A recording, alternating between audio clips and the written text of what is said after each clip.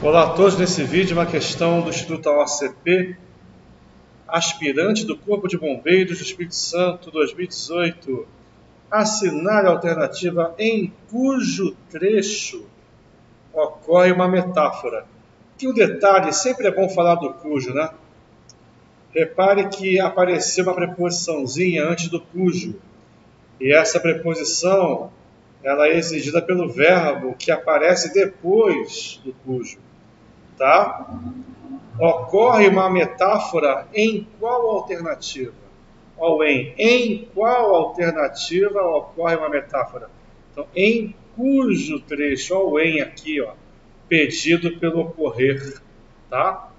Então, só um detalhe uh, que não tem nada a ver com a questão, tá bom? Só para a gente lembrar. Sempre bom. Sempre bom. E aí, onde é que você encontra uma metáfora?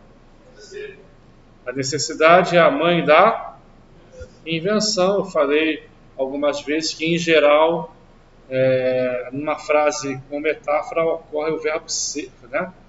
o verbo de ligação. A necessidade é a mãe da invenção. É a metáfora, sempre é bom a gente reforçar. Ela faz uma comparação entre dois elementos. No caso, o primeiro elemento é a necessidade. O segundo elemento é mãe. Beleza? O que que, no primeiro momento, mãe tem a ver com necessidade? Nada. Porém, ele faz alusão a uma ideia. A necessidade é a mãe da invenção.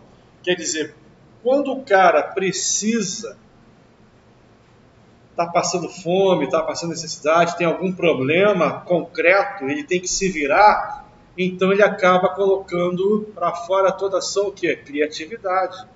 E a necessidade humana foi o combustível, outra metáfora aí, foi um combustível para muitas invenções.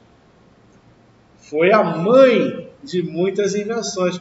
O que foi a mola mestra, outra metáfora, mola mestra para muitas invenções. Porque se não houvesse a necessidade, não haveria o esforço, a dedicação, o empenho para que certas invenções fossem construídas a fim de suprir aquelas necessidades, né? Show, então, é alusão a uma ideia, tá bom?